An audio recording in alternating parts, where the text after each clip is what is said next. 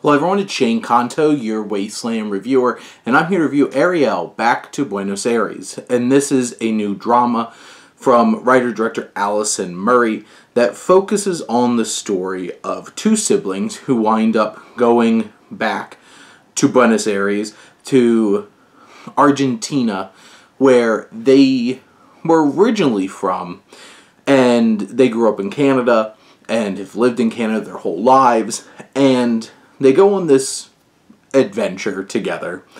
They get caught up in learning dance and tango, and Davie and Diana each have their own kinds of things they're dealing with.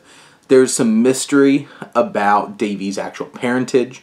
Diana is soon to be in a marriage with somebody she doesn't really feel like she's having a connection with. And she misses, longs for the days where men would show attention to her and she winds up kind of going on a more free-spirited adventure with some of the men that she's dancing with. But this is all just on top of the bedrock to this story that there's this whole entire thing about this horrible regime working closely with corporations like Ford who basically were stealing children and giving them off to loyalist people in the regime. And this film tries to balance those two stories. I think that's probably the biggest weakness of the film is that it does struggle. Like the tangoing like makes up such a big part of the first half of this film and then kind of just dissipates altogether. But I do appreciate those parts of the film. They're well done there you could feel the tension and the sexual attraction, the magnetism going on in these dances and how Murray films it and really portrays it. And you have this whole entire experience of this film and this story and then it gets deep. It gets heavy. It gets emotional.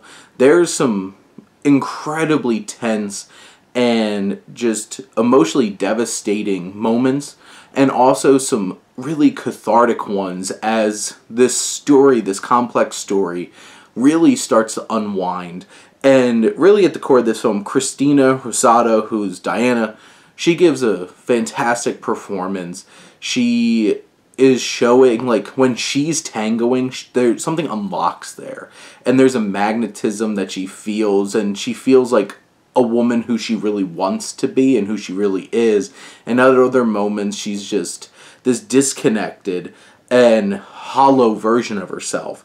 And then uh, Rafael Grosz-Harvey, who plays Davie, has a really challenging role of balancing all this this depression and moments of alcoholism and also swinging back and forth from despair to elation and joy, and he's able to balance all these things. There's twists and turns. It might not be the cleanest and the easiest to navigate narrative, but it's still so impactful. It has a lot to say, and really is anchored on two characters that we could really get behind. And I won't get much else into the story or relationships or anything because there's so much to unpack here and to experience. And Murray does a fantastic job of building that tension and mystery along the way, and it's certainly worth a watch. But those are my thoughts on Ariel back to Buenos Aires. Let me know what you think, and let's talk some movies. But thank you as always for tuning in supporting your Wasteland Reviewer.